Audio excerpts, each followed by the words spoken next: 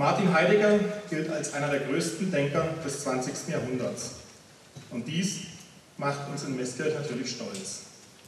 Stolz, dass so eine Größe aus unserer Mitte entstanden ist. Ich möchte gerne den Anlass des 30. Todestages von Martin Heidegger benutzen, um über sein Denken aus der Erfahrung seiner Heimat zu sprechen.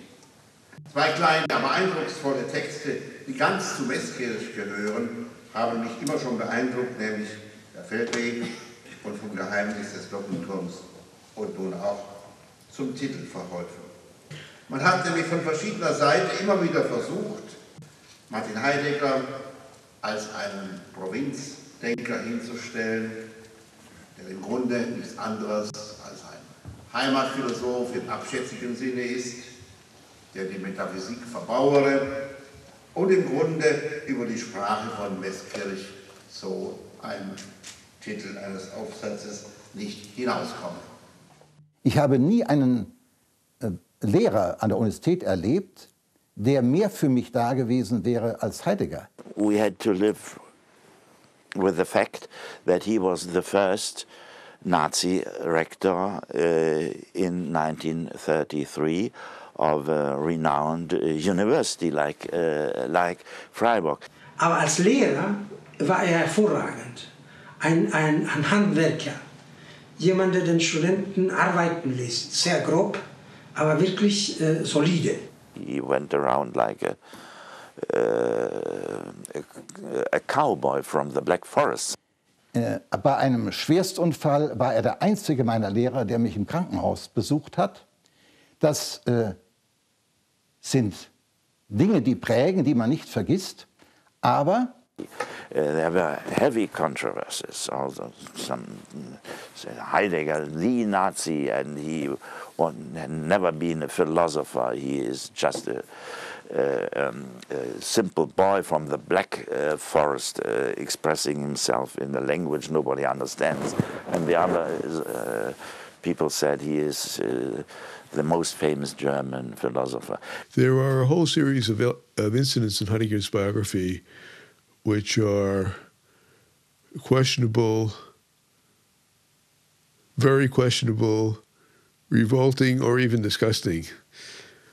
Some people have pointed out that the, the plan for Heidegger's collected works is intended to run to 80 volumes or so, and then pointed out in the same breath with horror that among these 80 volumes, there's not one word devoted uh, to the greatest catastrophe of the 20th century, namely Auschwitz. In terms of openness, or I think Heidegger is basically pretty honest. One Catholic philosopher studying with Heidegger made, uh, Max Müller was his name, uh, Heidegger simply did not have any civil courage, absolutely lacking in civil courage.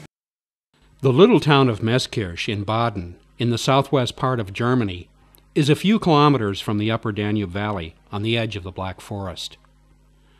This is staunchly Catholic country.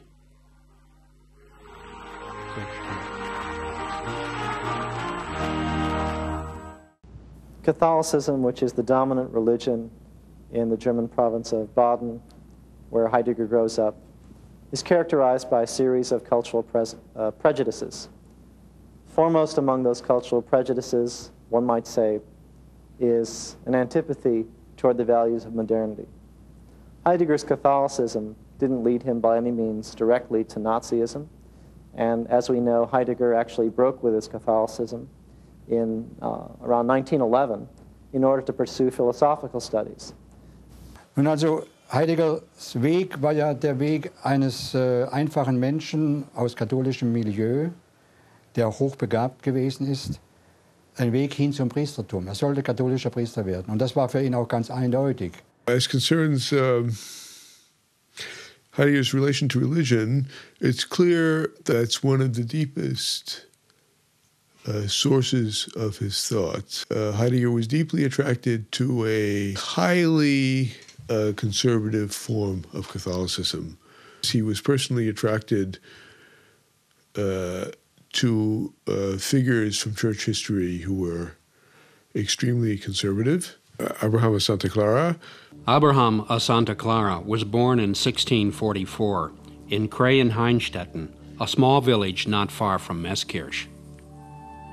He was an Augustinian monk who became the most important Catholic preacher in Germany during the Baroque era.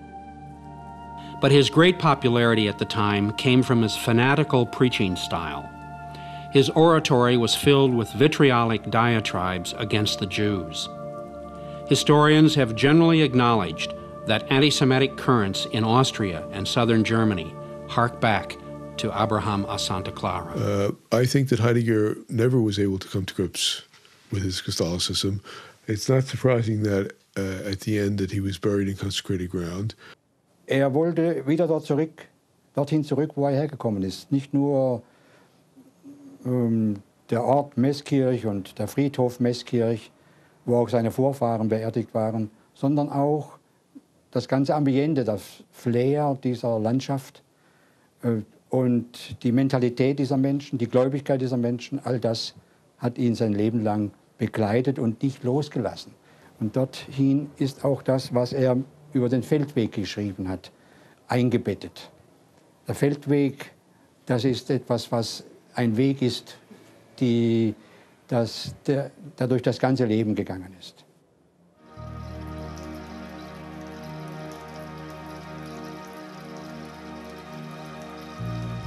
Rainer Martin studied under Heidegger and for 15 years was his assistant at Freiburg University.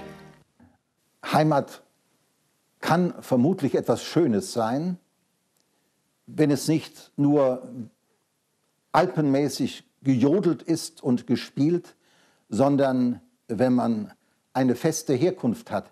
Wie schön war, jedenfalls, wenn wir nicht selber arbeiten müssen, die Bauernkultur. Das sind die Dörfer mit ihren Kirchen. Es sieht alles so schön aus. Und Heidegger hat den Abschied von der Bauernkultur nie geschafft, das Ende der Bauernkultur nie verwunden.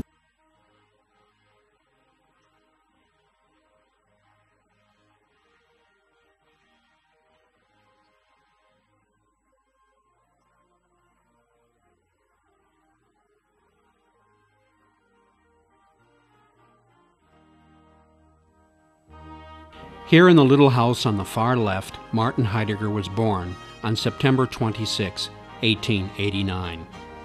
His parents came from humble circumstances. His father, Friedrich, was a sexton at St. Martin's Church. His mother, Johanna, came from a small village nearby, and just across the square from St. Martin's in the middle house is where Martin grew up and attended Mass every Sunday. Walking the few meters from his house to the church, where he served as an altar boy and rang the church bells.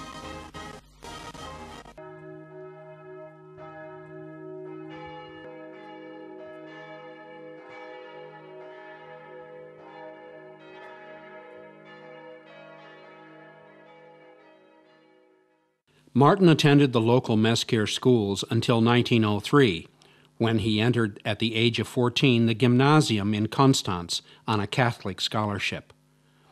The headmaster of the boarding school in Konstanz was Dr. Conrad Gröber, who also came from Meßkirch and who years later would become Archbishop of the Freiburg Diocese. Dr. Gröber took young Martin under his wing and in 1907 gave him a copy of Franz Brentano's dissertation on the manifold meaning of being, according to Aristotle. In 1909, Heidegger attended the Jesuit seminary in Tisis, near Feldkirch, Austria. He was there less than two weeks when he had his first major crisis.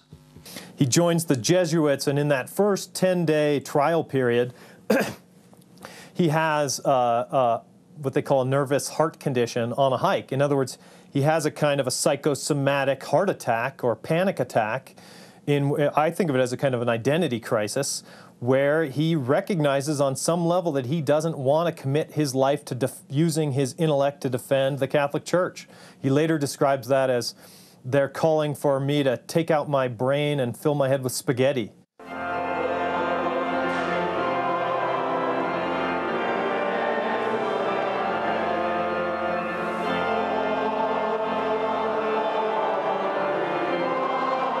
In 1911, the Archdiocese of Freiburg declares he is not fit for the priesthood.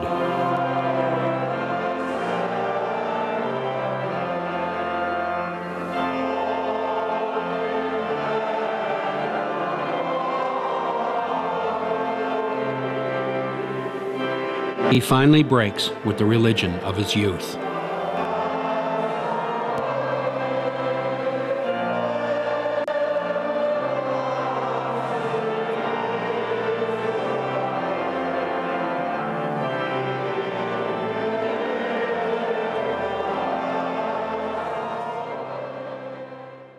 In 1914, Heidegger was called to military service, but was released because of his physical health. In 1915, he was called again to the service and was assigned to the post office, censoring mail. In August 1918, he was assigned to the Western Front and duty in the Weather Service. But he never saw combat. Heidegger was this guy who wanted to be a hero. He, he admired Ernst Junger, right? Junger's Storm of Steel is this description of how men achieve authentic greatness, heroic greatness, by confronting death together. Heidegger believed that Junger had described the truth of, the, of this life on the front lines. You know, Thomas Sheehan quotes that Heidegger at one point on his CV added falsely that he'd uh, fought in the trenches at Verdun.